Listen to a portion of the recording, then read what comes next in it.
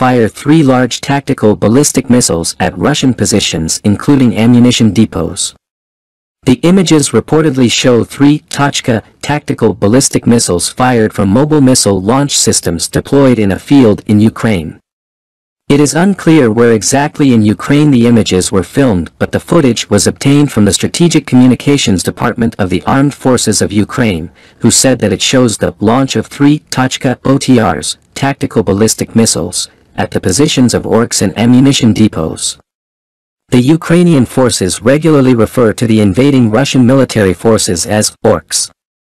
Russia invaded Ukraine on February 24 in what the Kremlin is calling a special military operation. Today marks the 121st day of the invasion.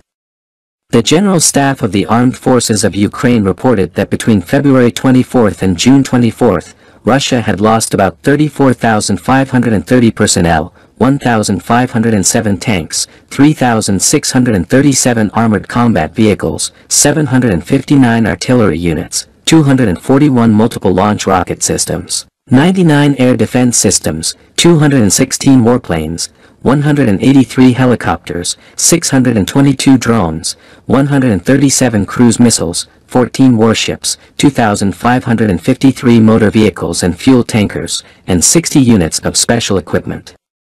On Thursday, June 23, the European Union approved Ukraine's application to become a candidate for admission to the bloc, which is currently made up of 27 countries. The decision has been hailed in both Brussels and Kiev as a historic moment, with President Zelensky saying that Ukraine's future is in the EU.